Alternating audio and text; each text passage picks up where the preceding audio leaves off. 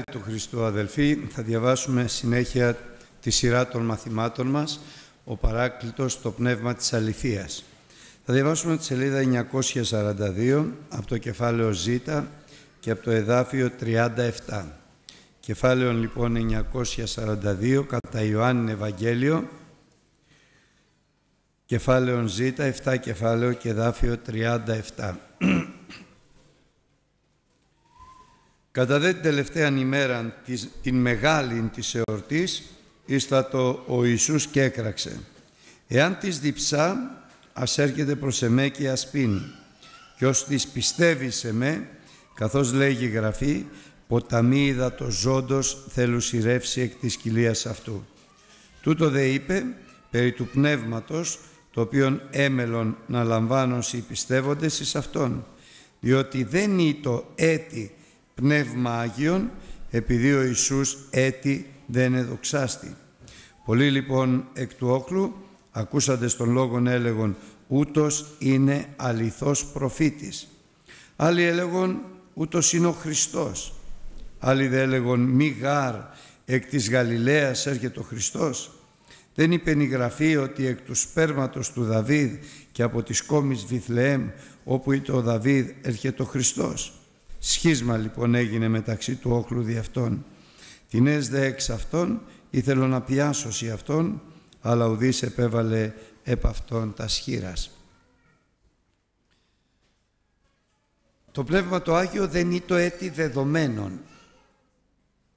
Αποκαλύπτει ο Λόγος του Θεού και πρόκειτο να δοθεί με έναν ιδιαίτερο και ένδοξο τρόπο προφητευμένο από την Παλαιά Διαθήκη, από το Θεόπνευστο Λόγο και αψευδή Λόγο του Θεού, έμελε λοιπόν να δοθεί με έναν ιδιαίτερα ένδοξο τρόπο και να πέσει επάνω σε όλους όσους άκουσαν τα λόγια Του, που θα διαβάσουμε σήμερα, πίστεψαν στα λόγια Του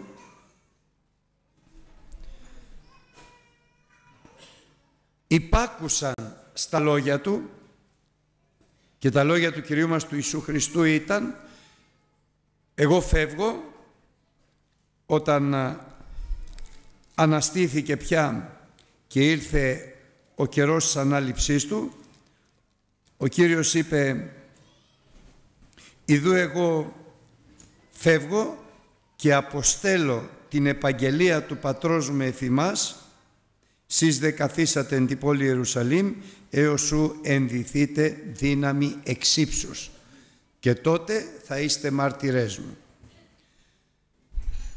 Δεν μπορεί ο χριστιανός να είναι αληθινός χριστιανός μέσα στην Εκκλησία του Χριστού δεν είναι δυνατόν αν δεν ενδυθεί δύναμη όταν το Πνεύμα το Άγιο θα έρθει επάνω του.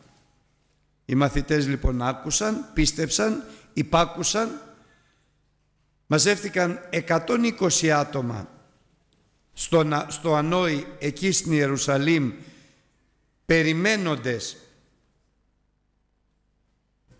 την εκπλήρωση της επαγγελίας του Θεού και την εκπλήρωση των λόγων του Χριστού πειθάρχησαν και διόρθωσαν τα ελίποντα καθώς δεν ήσαν πια δώδεκα γιατί ο Ιούδας είχε απομακρυθεί και στη θέση του έβαλαν άλλον και με υπομονή περίμεναν εξητώντας. Έπραξαν δηλαδή όλο το θέλημα του Θεού.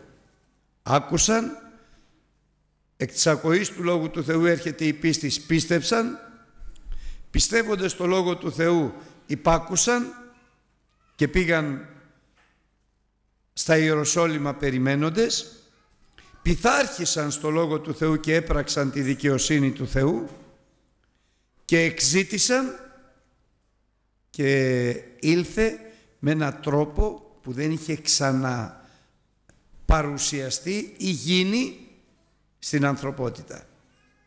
Ήλθε αυτό για το οποίο πρώτος μίλησε στην Καινή Διαθήκη ο Ιωάννης ο βαφτιστής λέγον «Εγώ μεν σας βαφτίζω ενίδατη εις μετάνοιαν, όμως ο πίσω μου ερχόμενος που είναι ισχυρότερός μου και του οποίου δεν είμαι άξιος να βαστάσω τα υποδήματα, αυτός θα σας βαφτίσει εμπνεύματι Αγίο και πυρή. Δεν μπορούσαν να καταλάβουν και κανένας δεν μπορεί να καταλάβει πώς δίδεται και πώς ενεργεί ο παράκλητος το πνεύμα της αληθείας αν δεν λάβει. Το πνεύμα της αληθείας ο παράκλητος γίνεται αντιληπτός εκ της πείρας των ανθρώπων μέσα από τη γραφή των ανθρώπων της Αποστολικής Εκκλησίας και μέσα από τη ζωή μας μέσα στην Εκκλησία του Χριστού. Εάν δεν έχεις αυτή την εμπειρία, εάν δεν έχεις την εμπειρία του θα λάβετε δύναμη όταν το Πνεύμα το Άγιο θα έρθει επάνω σας, δεν μπορείς να το καταλάβεις αυτό και αρχίζεις και δίνεις εξηγήσεις. Δύναμη εννοεί και βάζεις ό,τι θέλεις από εκεί και πέρα. Όταν όμως λάβεις αυτή την εμπειρία, έλθει ο Χριστός και σε βαφτίσει εμπνεύματι Αγίο με δύναμη, τότε μπορείς να κηρύξεις, να ομολογήσεις, να πεις ότι ο Χριστός βαφτίζει με πνεύμα Άγιο με δύναμη. Κανένας δεν μπορεί να καταλάβει αυτό που είπε ο Ιωάννης ο Βαφτιστής, αυτός θα σας βαφτίσει εν πνεύματι Αγίο και πυρή. Με φωτιά, μόνο αν ζήσεις τη δύναμη και τη φωτιά του Πνεύματος του Αγίου, τότε μπορείς να καταλάβεις, να ομολογήσεις και να κηρύξεις ότι το Πνεύμα το Άγιο είναι δύναμης και φωτιά που καίει όλη τη σάρκα, όλο τον εσωτερικό σου άνθρωπο. Στη συνέχεια όμως, μέσα από την Καινή Διαθήκη βλέπουμε πάλι περί Πνεύματος Αγίου ο άγγελος ο Γαβριήλ τον οποίον ο Θεός απέστειλε και στον Ζαχαρία και στην Ελισάβετ αλλά και στη Μαρία τη μητέρα του Κυρίου να αναφέρεται στο πως θα πραγματοποιηθεί ο Λόγος του Θεού ο γεγραμμένος ότι η Παρθένος θέλει συλλάβει και θέλει γεννήσει Ιών. Η Μαρία λοιπόν ακούγοντας τα λόγια του αγγέλου που τους είπε «Χαίρε και χαριτωμένη ο Κύριος μετασού ευλογημένη σύ εν γυναιξή» και συνέχισε ιδού θέλεις συλλάβει εγκαστρή και θέλεις γεννήσει Ιών και θέλεις καλέσει το όνομα αυτού Ιησούν. Και αυτός θα είναι Μέγας και Υιός υψίστου θα ονομαστεί και θα δώσει σε αυτόν ο Κύριος ο Θεός των θρόνων Δαβίδ του πατρός αυτού και θέλει βασιλεύσει επί των οίκων του Ιακώβης τους αιώνας και της βασιλείας του παιδιού τον οποίον εσύ θα γεννήσεις Μαριάμ της βασιλείας αυτού δεν θα είναι τέλος. Πάλι δεν κατάλαβε και η Μαρία και λέει τι είναι αυτά που μου λες; Αφού εγώ άντρα δεν γνωρίζω πώς θα συλλάβω και θα γεννήσω ιών.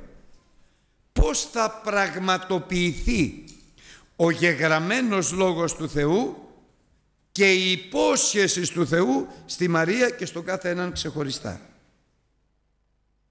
Και η απάντηση είναι ουχή δια δυνάμεως, ουδέ δια ισχύως, αλλά δια του πνεύματός μου, λέγει ο Κύριος των δυνάμεων. Την ίδια απάντηση έδωσε και ο Γαβριήλ στη Μαρία καθώς το έργο του ο Θεός το κάνει με το Λόγο Του δια του Ιησού Χριστού αλλά εν Πνεύματι Αγίο. Δεν υπάρχει έργο Θεού χωρίς τη δύναμη του Πνεύματος του Αγίου. Υπάρχει έργο ανθρώπινο καλό, υπάρχει έργο ανθρώπινο δια του Ιησού Χριστού ευλογημένο, αλλά έργο Θεού δεν υπάρχει παρά μόνο δια της δυνάμεως του Πνεύματος του Αγίου. Γι' αυτό και όταν οι μαθητές είπαν άραγε τώρα που καθιστάνεις τη βασιλεία εν τον Ισραήλ. Ο Κύριος είπε όχι. Και πρέπει να μάθετε ότι δεν είναι δεδομένο σε εσάς να γνωρίζετε τους χρόνους και τους καιρούς. γιατί η χρόνοι και οι καιροί είναι κρατημένοι από τον πατέρα μου τον ουράνιο. Μόνο αυτός έχει εξουσία στους χρόνους καιρούς και τους καιρούς. Εσείς όμως πρέπει να γνωρίσετε ότι είναι ανάγκη να λάβετε δύναμη όταν το Πνεύμα το Άγιο θα έρθει επάνω σας το εκπορευόμενον εκ του Πατρός διά του Ιησού Χριστού και τότε και μόνο τότε αλλιώς δεν μπορείτε και τότε και μόνο τότε θα είστε μάρτυρές μου και στα Ιεροσόλυμα και στην Ιουδαία και στη Σαμάρια και έως των εσχάτων της γης. Και στη Μαρία λοιπόν το ίδιο είπε. Δεν γίνεται ανθρώπινα να συλλάβεις εγαστρή και να γεννήσεις ιόν γιατί αυτό είναι έργο ένδοξο του Θεού που γίνεται μόνο δια της δυνάμεως του Πνεύματος του Αγίου. Πνεύμα Άγιο λοιπόν θα επέλθει επί σε, δύναμης υψής του θα σε επισκιάσει και το γενόμενον εξού θα ονομαστεί Υιός Θεού. Προχωρώντας λοιπόν ο Κύριος μας το λόγο του μέσα από την Καινή Διαθήκη εμφανίζει για πρώτη φορά θα έλεγα στο κήρυγμά του ο ίδιος τα περί Πνεύματος Αγίου όταν επισκέπτεται χωρίς να τον περιμένει μία αμαρτωλή γυναίκα και μάλιστα Σαμαρίτησα στην οποία όμως ο Θεός είχε διακρίνει την καρδιά της ότι είχε δικαίαν κρίση. Γιατί δεν ζητούσε το θέλημα το δικό της, αλλά το θέλημα του Θεού, αλλά ήταν μπερδεμένη. Είχε από τη μια μεριά τους Ιουδαίους που έλεγαν ότι ο Μεσσίας θα έρθει στα Ιεροσόλυμα και είναι εκ των Ιουδαίων και από την άλλη μεριά είχε τους Σαμαρίτες που έλεγαν στο όρος Γαριζίν στη Σαμάρια. Και αυτή περίμενε το Μεσσία, ήλπιζε στο Μεσσία. Το ότι πίστευε στο Μεσσία δεν σημαίνει ότι ήταν Αγία, αντιθέτως μάλιστα ήταν σφόδρα αμαρτωλή. Θα μπορούσα να πω ότι ήταν η δακτυλοδεικτούμενη γυναίκα ανάμεσα στη Σιχάρ, στην πόλη αυτή της Σαμάριας. Όμως ο Θεός δεν βλέπει το φαινόμενο, αλλά βλέπει την καρδιά του ανθρώπου. Και προγραμματίζει μια ωραία συνάντηση του Ιησού Χριστού, του Ιού του, του μονογενούς, με την αμαρτωλή αυτή γυναίκα, την οποία αγαπάει και την οποία βλέπει ότι όχι μόνο θα δεχθεί την αλήθεια, αλλά θα την ομολογήσει κιόλας. Και αυτό είναι ό,τι το σημαντικότερο μπορεί να δει ο Θεός στην καρδιά του ανθρώπου, ώστε να συναντήσει, να δημιουργήσει, να προγραμματίσει συνάντηση του Χριστού με τον άνθρωπο αυτό. Εκ των φαινομένων κανένας δεν θα πλησίαζε Ισραηλίτης, μάλιστα Ιουδαίος, τη Σαμαρίτης αυτή. Εκ των φαινομένων κανείς από την Εκκλησία του Χριστού δεν θα πλησίαζε ποτέ τον Σαούλ, τον κύριο διώκτη της Εκκλησίας. Όμως ο Θεός βλέπει στην καρδιά, διακρίνει τα βάθη της καρδιάς, βλέπει την ειλικρίνεια μέσα στην αμαρτία, δεν πειράζει. Το διαμάντι και στο βούρκο μέσα είναι διαμάντι. Δεν αλλοιώνεται με το λέρωμα, είναι διαμάντι. Και ο Χριστός ψάχνει να βρει τον καλό Μαργαρίτη. Και όταν βρει τον καλό Μαργαρίτη, τα πετάει όλα για να αγοράσει αυτόν. Ένα κρίσιμο ερώτημα. Άραγε, εσύ, εγώ, που είμαστε σήμερα στην Εκκλησία στα μάτια του Θεού είμαστε καλοί μαργαρίτες. Καλός μαργαρίτης. Γι' αυτό αδερφοί αγαπητοί, επειδή εμείς σαν άνθρωποι βλέπουμε μόνο το φαινόμενο και όχι την καρδιά, ας μην βιαζόμαστε να κρίνουμε και να κατακρίνουμε κανέναν. Να περιμένουμε τη δικαία κρίση που κάνει ο Χριστός. Και δικαία κρίση είναι αυτή που κάνει ο άνθρωπος όταν ενδιαφέρεται για το θέλημα του Θεού και όχι το δικό του. Όποιος λέει πράττει το δικό του θέλημα ζητάει τη δική του δόξα. Όποιος όμως ενδιαφέρεται για το θέλημα του Θεού στα μάτια του Θεού είναι καλός Μαργαρίτης. Και όταν τη συνάντησε σε αυτή την υπέροχη συνάντηση που είχε προγραμματίσει ο Θεός του Ιού Του ο οποίος κουρασμένος την περίμενε στο πηγάδι του Ιακώβ όταν ήρθε η γυναίκα αυτή εκείνο το οποίο ουσιαστικά της είπε είναι ότι εγώ έχω ένα νερό που όποιος πίνει από το νερό αυτό δεν θα ξαναδιψάσει. Ακούτε τι της είπε. Διψασμένη πήγαινε με το κανάτι της να πάρει νερό. Και ο Χριστός της είπε εγώ έχω να δώσω ένα νερό που όποιος πει πιει από αυτό το νερό δεν θα ξαναδιψάσει. Αλλά αυτό το νερό το οποίο εγώ θα δώσω σε αυτόν θα γίνει μέσα του πηγή ύδατος αναβλύζοντος η ζωή αιώνιον. Και αυτό το νερό που ξεδιψάει είναι το Πνεύμα το Άγιο. Που όποιος πάρει αυτό το νερό που ο Χριστός του δώσει μεταβάλλεται σε πηγή ύδατος αναβλύζοντος η ζωή αιώνιον και ποτέ δεν θα ξαναδιψάσει. Γιατί ποιος είναι αυτός που διψάει; Αυτός που δεν έχει ζωή αιώνιο. Αυτός που δεν ζει μες στη Βασιλεία του Θεού.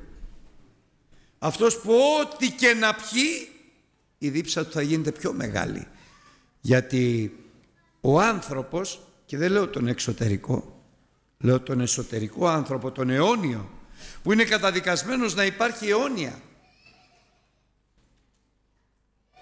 Αυτόν που δημιουργήσε ο Θεός, έπλασε ο Θεός με τα χέρια του από χώμα και ενεφίσισε σε Αυτόν από το δικό του πνεύμα, το Άγιο, και έγινε αυτό το δημιούργημα εις ψυχή ζώσα, καθώς μέσα σε αυτό το πλάσμα κατοίκησε το Πνεύμα του Θεού. λένε παρένθεση ότι άνθρωπος κατάγεται από τον πίθηκο ή από άλλα πράγματι. Υπάρχουν και υπήρχαν στην ιστορία της γης πολλά ανθρωποειδή. Και σήμερα υπάρχουν. Και παλαιότερα υπήρχαν. Αλλά το, το πλάσμα αυτό στο οποίο ο Θεός ενεφύσισε από το πνεύμα του και έγινε ψυχή ζώσα είναι αυτό που δημιούργησε ο Θεός με τα χέρια του. Που έπλασε ο Θεός από χώμα με τα χέρια του. Όλα τα άλλα ανθρωποειδή ζώα βγήκανε εκ της γης. Μάλιστα όπως λέει ακριβώς από τη θάλασσα να το δούμε όμως γιατί δεν το θυμάμαι καλά. Και είπε εκ της γης. Και είπε ο Θεός ας γεννήσει η γη ζώα έμψυχα κατά το είδος αυτών κτίνη και ερπετά και ζώα της γης κατά το είδος αυτών. Μόνο ένα πλάσμα, σε ένα πλάσμα, το οποίο δεν βγήκε εκ της γης, αλλά με τα χέρια του έπλασε ο Θεός και τον έκανε κατά την εικόνα του καταρχάς, με μέλλον να γίνει και κατά την ομοίωσή του. Όπως λέει ο Ιωάννης, δεν εξεύρωμεν τι θελομενήστε εκεί, αλλά ένα εξεύρωμεν με τα βεβαιότητος. Ότι θελομενήστε όμοι με Αυτόν. Και ο Απόστολος Παύλος στην επιστολή του προς Κορινθίους, όταν ξεχωρίζει τα πράγματα περί των ζώων και του ανθρώπου λέει στο κεφάλαιο μην ανοίξετε γιώτα ε 15 κεφάλαιο της πρώτης επιστολής του προς Κορινθίους πάσα σάρξ δεν είναι η αυτή σάρξ. Άλλη μεν είναι σάρξ των ανθρώπων άλλη δε σάρξ των κτηνών άλλη δε η σάρξ των ηχθείων και άλλη η σάρξ των πτηνών ο άνθρωπος έχει ξεχωριστή σάρκα, μάλιστα ο Απόστολος Παύλος στο, στο κήρυγμα του στην Αθήνα είπε και έκαμεν ο Θεός εξενός αίματος παν έθνος ανθρώπων, μαύρων, κίτρινων, κόκκινων. Εξενός αίματος έκανε τους ανθρώπους. Γι' αυτό και δεν μπορεί να γίνει μετάγγισης στον άνθρωπο παρά μόνο από άνθρωπο γιατί ένα αίμα έχει ο άνθρωπος. Δεν μπορεί να γίνει ούτε από γάιδαρο, ούτε από πίθηκο, ούτε από πτηνό, ούτε τουλάχιστον ακόμη και από συνθετικό αίμα. Δηλαδή αίμα που δημιουργεί ο άνθρωπος. Εκείνο λοιπόν που έχει σημασία αδερφοί αγαπητοί είναι η διάκρισης που έκανε ο Θεός ανάμεσα σε όλα τα ζώα τα οποία βγήκαν εκ της γης και στον άνθρωπο τον οποίο έπλασε ο ίδιος με τα χέρια του και η διάκρισης η μεγάλη είναι το Πνεύμα το Άγιο. Ενεφύσισε εις αυτόν εκ της πνοής του, εκ τους πνεύματος, δεν έχει αναπνοή ο Θεός, εκ του πνεύματος και δια του πνεύματος του Αγίου έγινε ο άνθρωπος ψυχή ζώσα που δεν είναι δυνατό να πεθάνει. Δεν πεθαίνει. Με την έννοια της διακοπής της ύπαρξής της. Η ψυχή του ανθρώπου πεθαίνει με την έννοια της απομάκρυνσης από την πηγή της ζωής που είναι ο Θεός. Η διαφορά λοιπόν είναι το Πνεύμα το Άγιο και το έργο που έκανε ο Θεός στον άνθρωπο τον οποίο έπλασε με τα χέρια του δια του Πνεύματός του του Αγίου. Και αυτό είπε λοιπόν και στη Σαμαρίτησα ότι αυτό το νερό που θα σου δώσω γιατί στην αρχή οι άνθρωποι είχαν Πνεύμα Άγιο αλλά ο Κύριος είπε, ο Θεός είπε λίγο πριν γίνει ο κατακλυσμός του Νόε δεν θα αφήσω, δεν θέλει καταμείνει πάντοτε το πνεύμα μου μετά του ανθρώπου, διότι είναι σάρξ. Και αφαιρέθη το πνεύμα του Θεού από τους ανθρώπους και έμειναν οι άνθρωποι τριαδικοί αλλά χωρίς πνεύμα Θεού μετά τον κατακλυσμό του Νόε. Για πρώτη φορά λοιπόν επισκέπτεται ο Θεός τον άνθρωπο και του προφητεύει με το θεόπνευστο και αψευδή λόγο του ότι αν μείνετε στην Ιερουσαλήμ τότε εγώ λέει ο Χριστός θα στείλω την επαγγελία του πατρός μου και θα λάβετε δύναμη όταν το Πνεύμα το Άγιο θα έρθει απάνω σας. Και λίγο αργότερα αφού είπε αυτά στη Σαμαρίτησα την τελευταία μέρα της γιορτής και λίγο πριν παραδοθεί για σταύρωση, θάνατο και Ανάσταση, τότε έκραξε με τα φωνής μεγάλης διαπνεύματος Αγίου γιατί όταν έρθει δύναμη του Πνεύματος του Αγίου τότε αλλοιώνεται η φωνή του ανθρώπου παίρνει μια ιδιαίτερη χρειά και δύναμη που δεν είναι ανθρώπινη εκτός αν ο άνθρωπος φωνάζει από μόνος του. Αλλά όταν έρθει η δύναμη του Πνεύματος του Αγίου τότε αλλοιώνεται γιατί πια δεν μιλάει ο άνθρωπος αλλά το Πνεύμα το Άγιο. Όπως παραδείγματος χάρη όταν η Μαρία η μητέρα του Κυρίου επισκέφθηκε την Ελισάβετ λέει η Γραφή και ως ήκουσεν η Ελισάβετ των ασπασμών της Μαρίας εσκύρτησε το βρέφος εν την κοιλία αυτής και επλήστη Πνεύματος Αγίου έτη εκ κοιλίας μητρός κατά τον προφητικό λόγο του Θεού και πλήστη η Ελισάβετ Πνεύματος Αγίου και ανεφώνησε μεταφωνής μεγάλης δια Πνεύματος Αγίου όπως ο Κύριος έκραξε δια Πνεύματος Αγίου και είπε πράγματα η Ελισάβετ μοναδικά τα οποία προηγούμενα είχε πει ο, αρχά, ο, ο άγγελος Γαβριήλ στη Μαρία και η Μαρία τα άκουγε τώρα από το στόμα της Ελισάβετ με τη δύναμη του Πνεύματος του Αγίου. Ευλογημένης η εγγυνεξή και ευλογημένος ο καρπός της κοιλίας σου.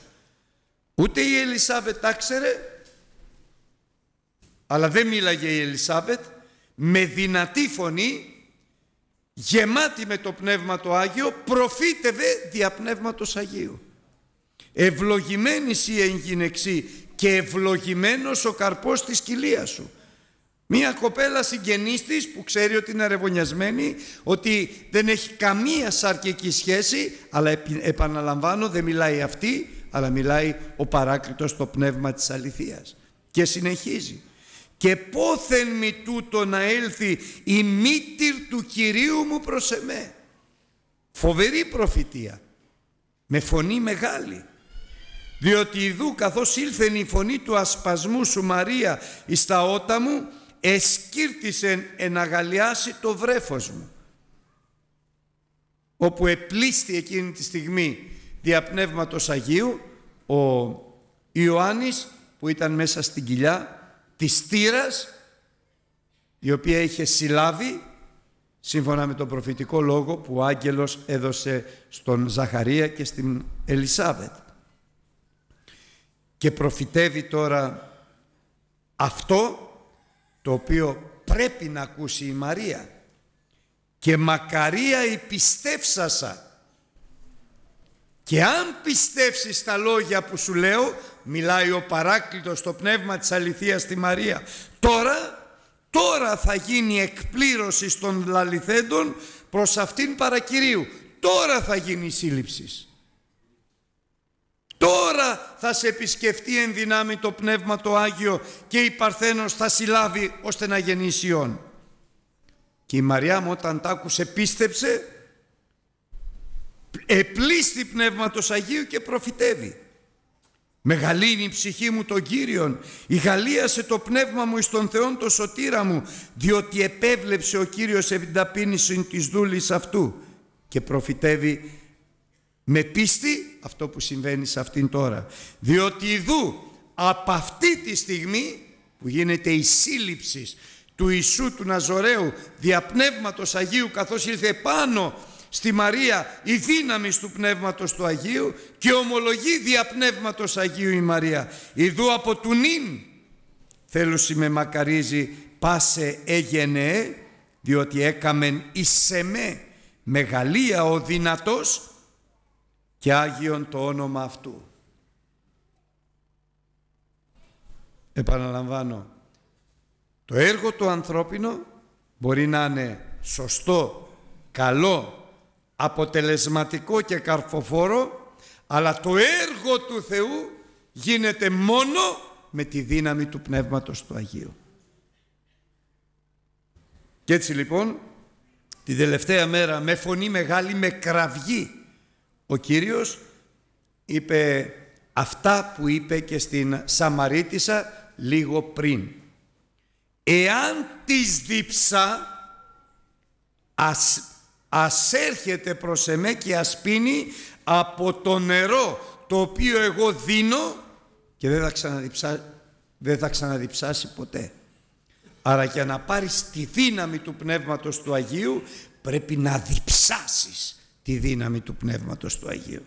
Γι' αυτό τη δύναμη του Πνεύματος του Αγίου ο Θεός τη δίνει στους ζητούντας με πόθο, με επιθυμία, με δίψα σε αυτούς που αγαπάνε τον παράκλητο το Πνεύμα της αληθείας όχι που τον μικραίνουνε αλλά που έχουν καταλάβει με όλη τους την καρδιά ότι το έργο του Θεού δεν γίνεται με δύναμη ή με ισχύ αλλά μόνο με το Πνεύμα το Άγιο.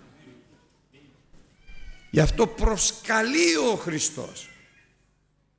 Έλθετε πάντες οι διψώντες και αγοράσατε και ας μην έχετε αργύριον ή χρυσίων. Γι' αυτό συνεχίζει το κρίσιμο σημείο. Όποιος πιστεύει σε μένα, όπως είπε η Γραφή, δηλαδή δύο είναι οι προϋποθέσεις. Διψάς για αυτό το είδωρ το ζών που θα σε κάνει να μην διψάσεις ποτέ. Και αν έρθει η δίψα όταν πληστείς Πνεύματος Αγίου, ποταμίδα το ζώντος θα ρεύσουν εκ της κοιλίας σου.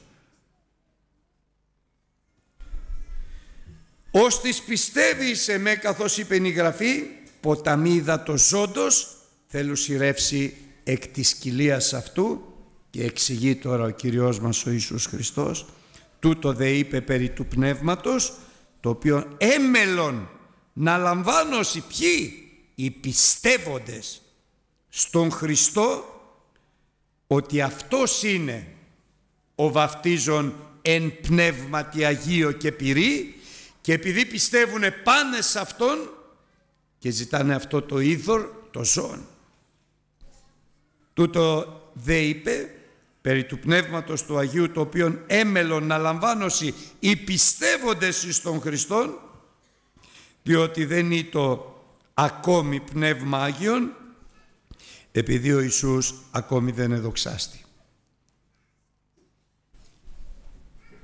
Θυμάμαι μια φορά είχε έρθει κάποιος αδελφός Ευαγγελικός, πολύ ειλικρινής, μεγάλος σε ηλικία, είχε ακούσει ομολογίες και τη δική μου ομολογία και έκανε μία ερώτηση. Λέει, άκουσα την ομολογία σου, πώς ο Χριστός σε βάφτισε με Πνεύμα Άγιο, πώς μίλησες ξένες γλώσσες, αλλά εγώ χρόνια αγαπάω το Χριστό και υπηρετώ το Χριστό. Θέλω να μου πεις λοιπόν εσύ, τι μου χρειάζονται να μιλάω γλώσσες; Δηλαδή με ρώτησε, τι μου χρειάζεται να πληρούμε Πνεύματος Αγίου; Γιατί υπάρχει πλήρωσης Πνεύματος Αγίου με μικράν δύναμη, αλλά υπάρχει και πλήρωσης Πνεύματος Αγίου με πολύ μεγάλη δύναμη. Αλλά όταν μιλάς γλώσσες, δεν μιλάς εσύ, αλλά το Πνεύμα το Άγιο και βγαίνει από την κοιλιά σου, έστω και με μικρά δύναμη. Αυτός ο άνθρωπος που μιλάει γλώσσες πληρούνται Πνεύματος Αγίου. Αυτοί όμως που δεν ξέρουν, δεν έχουν την πείρα δεν γνωρίζουν τα σγραφάς και τη δύναμη του Θεού, λένε πλήρωση με πνεύμα Άγιο είναι να έρθει δι... Όχι δεν είναι αυτό. Να αισθανθώ κάπως αλλιώς δεν είναι αυτό. Όταν βάφτισε με πνεύμα Άγιο ο Χριστός τον Κορνήλιο και όλους τους ακούοντας το Λόγο του Θεού από τον Πέτρο ο Κορνήλιος ομολόγησε και είπε ότι ήρθε το Πνεύμα το Άγιο, το διαβάζω από μέσα, να το βρω μόνο, και ενώ άρχισα, λέει ο Απόστολος Πέτρος, να λαλώ το Λόγο του Θεού, το Πνεύμα το Άγιο επήλθε επ' αυτούς, καθώς και εφημάς καταρχάς. Και ποιο ήταν καθώς το εφημάς καταρχάς, ότι οίκουον αυτούς λαλούντας γλώσσας και μεγαλύνοντας τον Θεόν. Δεν είπε για την γλώσσα του πυρός, αυτό είναι το ιδιαίτερο που κάνει σε κάθε περίπτωση και σε κάθε άνθρωπο. Έχουμε ακούσει ότι άλλον τον βάφτισε έτσι, άλλον τον βάφτισε αλλιώς, αλλά το κύριο χαρακτηριστικό και η απόδειξη ότι σε βάφτισε ο Κύριος με πνευμάγιο που είναι η πρώτη πλήρωση του ανθρώπου και συνεχίζεις να πληρώνεσαι με πνευμάγιο είναι όταν μιλάς γλώσσες. Δεν υπάρχει πλήρωσης Πνεύματος Αγίου αν δεν μιλάς γλώσσες αλλά και είναι πάντοτε η πλήρωση του Πνεύματος του Αγίου όταν μιλάς γλώσσες. Η διαφοροποίηση είναι στη δύναμη που τη δύναμη ο Θεός τη δίνει ανάλογα με τη δίψα αλλά και την πίστη του ανθρώπου. Και η πίστη του ανθρώπου και η δίψα και η πίστη του ανθρώπου αυξάνει με τη δοξολογία όπως αποκαλύπτει ο Λόγος του Θεού ο Απόστολος Παύλος στην προσδρομέους επιστολή να το βρω μόνο λέγει λοιπόν όταν μιλάει για την πίστη του Αβραάμ λέγει ο οποίος Αβραάμ αν και δεν είχε ελπίδα επίστευσε με ελπίδα ότι έμελε κατά το λόγο που του αποκάλυψε ο Θεός να γίνει πατήρ πολλών εθνών κατά το λολιθέν ούτω θελήστε το σπέρμα σου. Και μία ασθενή σας κατά την πίστη δεν έχασε την πίστη του, δεν εσυλλογίστηκε, δεν έχασε την πίστη του συλλογιζόμενος ότι το σώμα αυτού ήταν ήδη νεκρόν καθώς ήταν 100 χρονών και δεν εσυλλογίστη ακόμη την έκρωση της, μήτρης, της, μητέ, της ε, μήτρας της Άρας αλλά τι έκανε. Ούτε δίστασε στην επαγγελία του Θεού δια της απιστίας αλλά ενεδυναμώθη στην πίστην πώς; Δοξάζον το Θεό. Δοξάζοντας το Θεό δυναμώνει η πίστη του ανθρώπου. Με την προϋπόθεση ότι δεν έχει χάσει την πίστη του άνθρωπος στο Λόγο του Θεού. Πώς λοιπόν αυξάνει η πίστη μας, δεν αυξάνει. Πώς δυναμώνει η πίστη μας, με τη δοξολογία. Γι' αυτό όταν βαφτίζει ο Χριστός με Πνεύμα Άγιο, βαφτίζει αυτούς που δοξάζουν.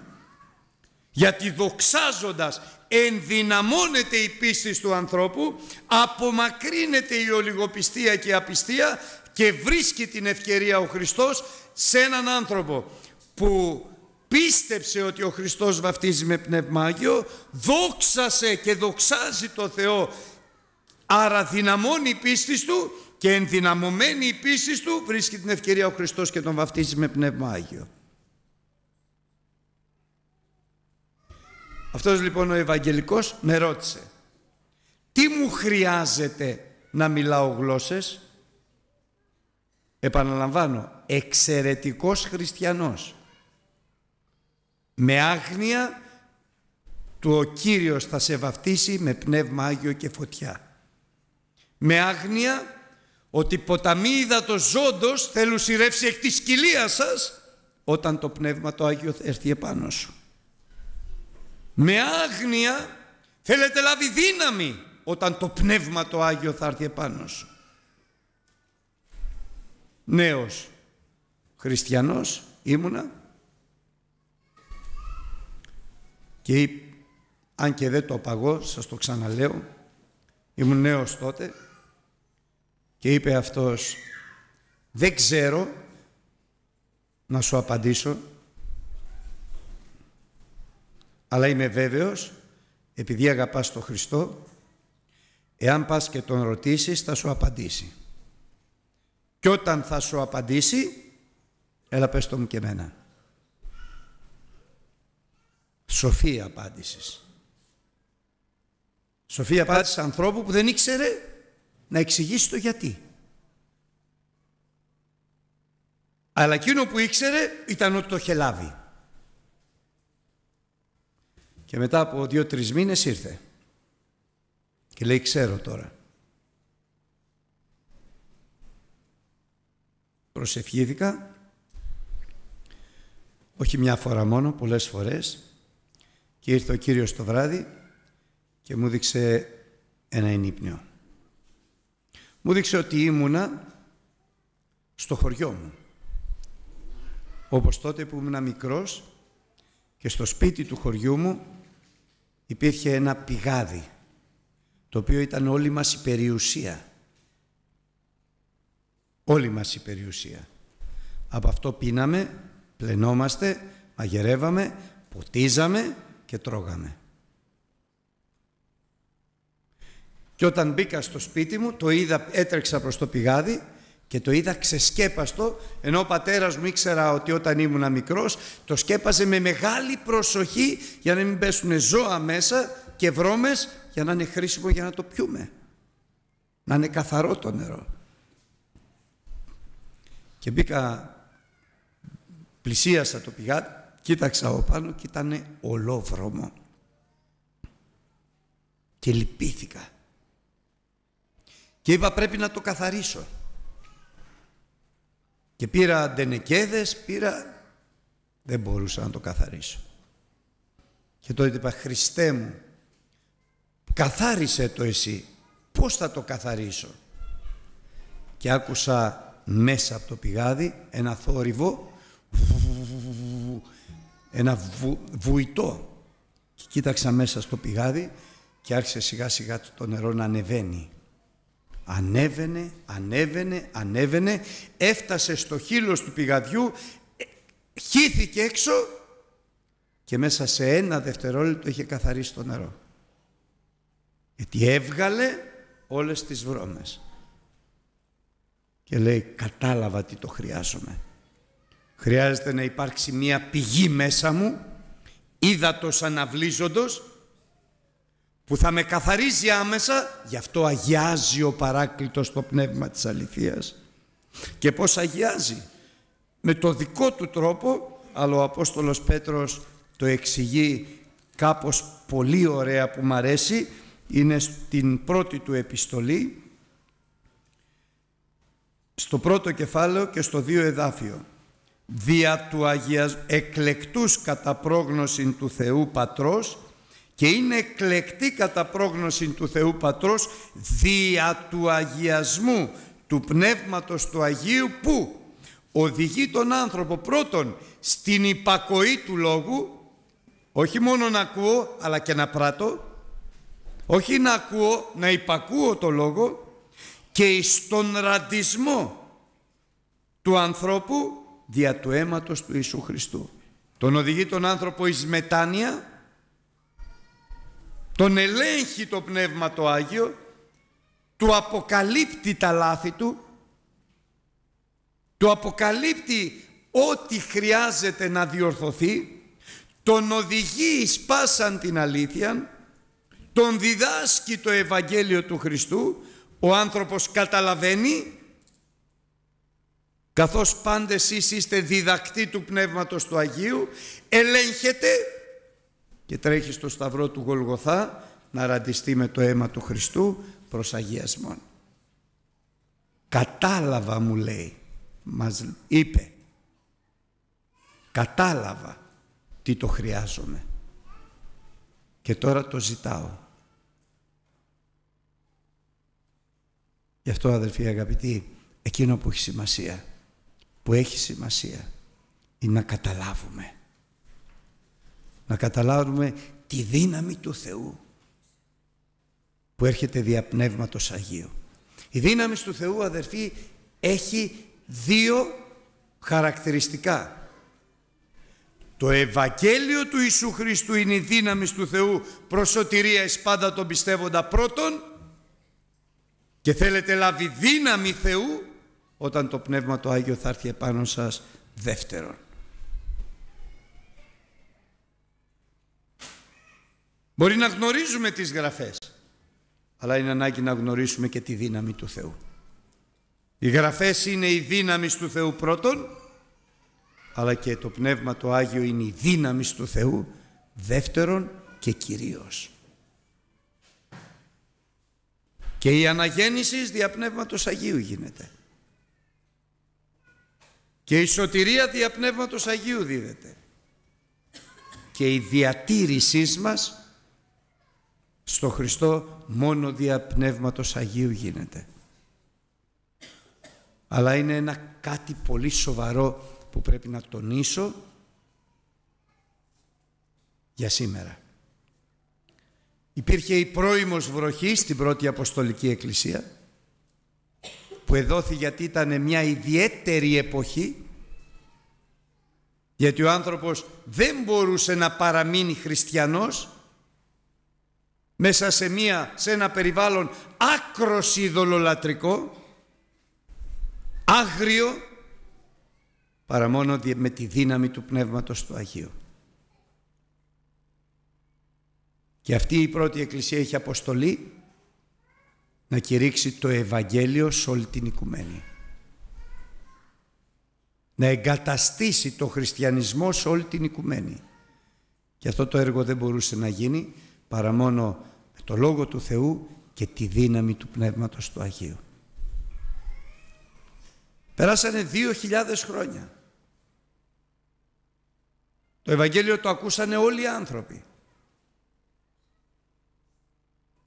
Δεν χρειαζόταν τίποτα το ιδιαίτερο και δυνάμεις ιδιαίτερες όλο αυτόν τον καιρό παρά μόνο όποιος επικαλεστεί το όνομα του Χριστού σώζεται έτσι ώστε όλοι οι άνθρωποι όσοι πέθαιναν έστω και αν ακόμη δεν είχαν πιστέψει όταν και την τελευταία στιγμή κάποιος τους μίλαγε για το Χριστό και έλεγαν Χριστέ μου σώσε με πήγαιναν στον ουρανό. Αλλά ήρθε όμως ο καιρός των εσχάτων ημερών για τους οποίους ο Θεός λέει θα δώσω στις έσχατες ημέρες την πρώιμον και την όψιμον βροχή. Την πρώιμο για να κηρυχθεί και πάλι το Ευαγγέλιο. Τούτο της Βασιλείας, το αληθινό, όχι τα Ευαγγέλια και οι παραδόσεις οι ανθρώπινες.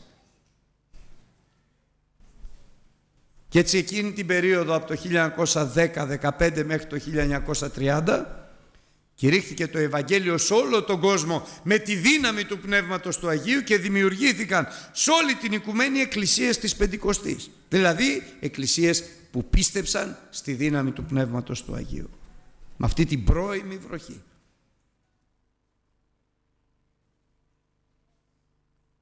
Και φτάνει τώρα και ο καιρός της όψιμης βροχής ο Χριστός θα ετοιμάσει την εκκλησία τη μία, την περιστερά του, την Αγία, την Αμόμητο.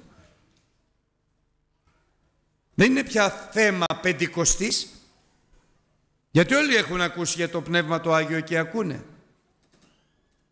Αλλά είναι θέμα προετοιμασίας και δύναμης ανθρώπων που ακούνε το Λόγο του Θεού, δέχονται το Λόγο του Θεού, πιστεύουν στο Λόγο του Θεού, υποτάσσονται στο Λόγο του Θεού, διψάνε για το Πνεύμα το Άγιο και εξητούνε. Εκείνο λοιπόν που περιμένουμε είναι τη δύναμη του Πνεύματος του Αγίου στον καιρό της όψιμης βροχής που θα προετοιμάσει τη μία εκκλησία, την ένδοξο, την Αγία, τη μία έχουσα κοιλίδα, ηρητίδα, ητή των τιούτων που δεν υπάρχει. Μέσα στα δόγματα τα χριστιανικά, πόσο μάλλον μέσα στις θρησκείες τις άλλες. Και πώς θα γίνει αυτό, πάλι δια Πνεύματος Αγίου. Πάλι με τη δύναμη του Πνεύματος του Αγίου. Και ποιους θα χρησιμοποιήσει; Αυτούς που έχουν μια καινούργια εντολή. Η παλιά εντολή στην εκείνη την εκκλησία ήταν μείνετε στην Ιερουσαλήμ έως ότου λάβετε δύναμη όταν το Πνεύμα το Άγιο θα έρθει επάνω σας. Τελευταία Αποστολική Εκκλησία έχει άντλη εντολή. Ζητείτε ιετών τον καιρό της οψίμου βροχής. Όχι βροχή, ιετό.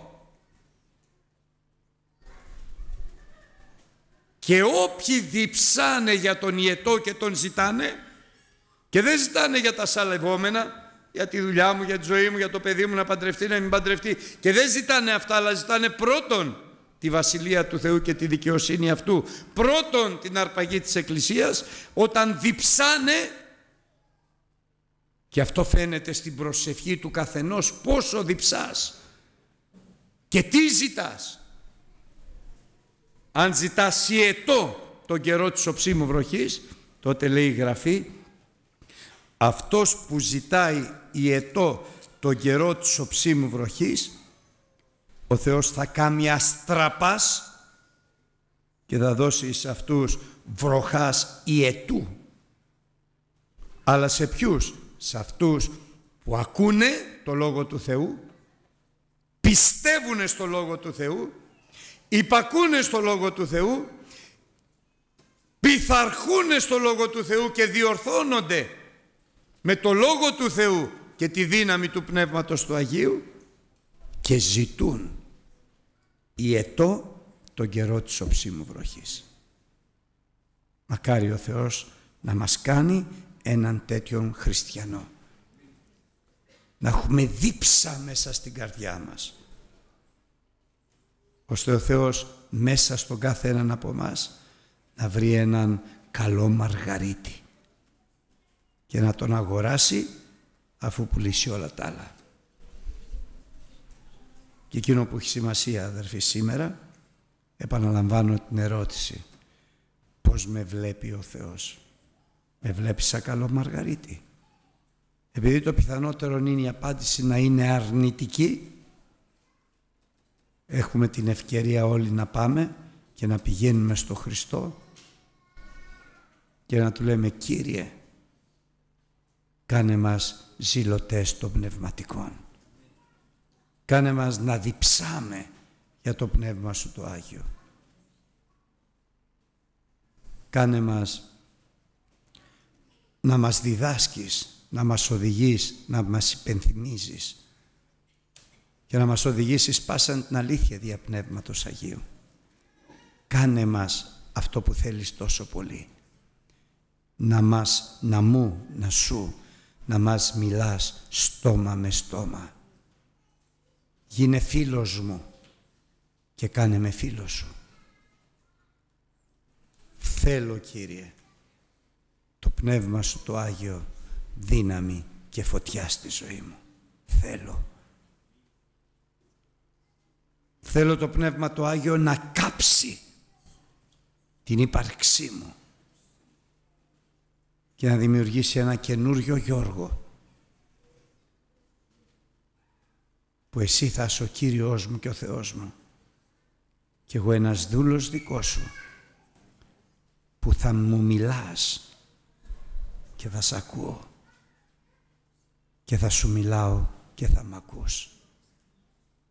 Θα μιλάμε σαν ο φίλος προς τον φίλο αυτού, στόμα με στόμα. Αμήν.